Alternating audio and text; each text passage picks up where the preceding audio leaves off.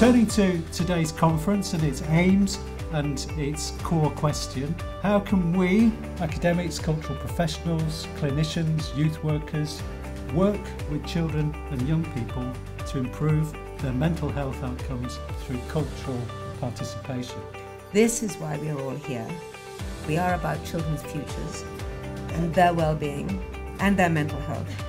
We want them to be resilient, able to manage and cope with life's uncertainties and have a confident voice.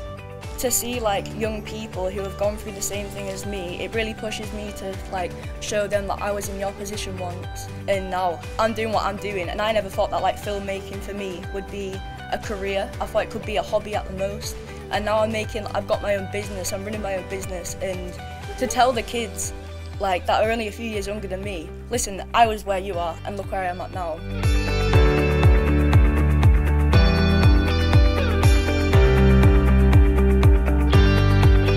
Been a really good day. I mean, I think for me, three things really stood out. It was great to have that range of speakers, you know, from mental health, from academia, but I think most importantly, hearing from those young people who'd experienced mental health difficulties. I think secondly, just the breadth of workshops and speakers, you know, whether it was, you know, Ellie talking about grief, a workshop on digital, or even really important stuff about evaluation. But I think most important was it really showed the benefits of bringing together the world of academia, in this case mental health and of course arts. I've absolutely loved today. Um, it's been such a, a diverse range of people that have come together, not just from the arts sector, the third sector, there's young people there, there's the public sector. It's been absolutely incredible to get everyone in a room and talk about how we can better understand young people and improve the relationship with the creative arts and mental health and mix it all into one and see what, what more we can do uh, for young people. So I'm really inspired. I've really enjoyed my time at the conference today. Not only did I enjoy being on the panel, but I also enjoyed the seminars and the lectures from other healthcare professionals and people looking after the mental health of young people. It's been fantastic.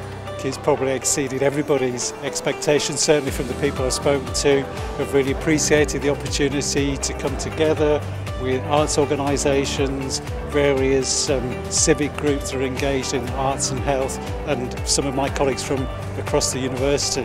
The hope now is that we've sparked connections and people have hooked up in terms of exchanging experience. Um, the idea is that we'll take that forward and hopefully do some really significant and constructive things together.